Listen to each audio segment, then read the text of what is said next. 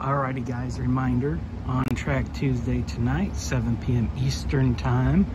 Um, I've been doing some uh, work on the layout. I've got to do a update, but uh, see I'm working on my bridge. I've got to uh, fix these. Um, legs down there, or the supports. Um, just kind of put them spaced and it didn't really plan out for the tracks. But see where I got them marked. I got to fix them a little bit there. Figure that out. That's fine.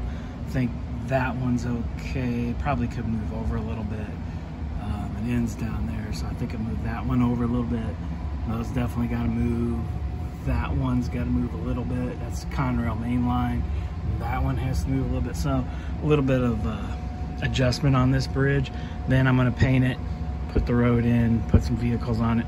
Uh, my static grass back there um, static grass applicator took a crap on me right in the middle of it. So some of it's standing up, a lot of it looks laying down, but it still looks okay. I think I'll go in there put some other separate tufts in there.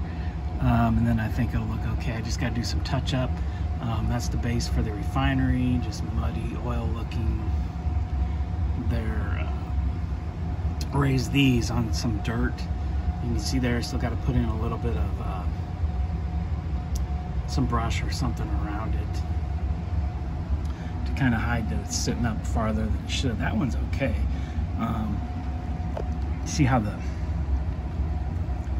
yeah I might have to adjust that one too. Eh, that's okay. Yeah, I have to adjust that one a little bit. It, it kind of came down a little bit.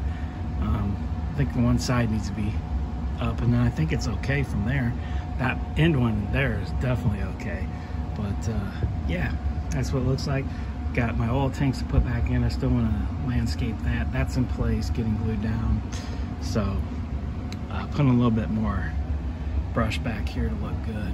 So looks really good, but uh, working on the bridge, like I said. So we'll talk about it tonight, and I'll uh, see you guys uh, tonight.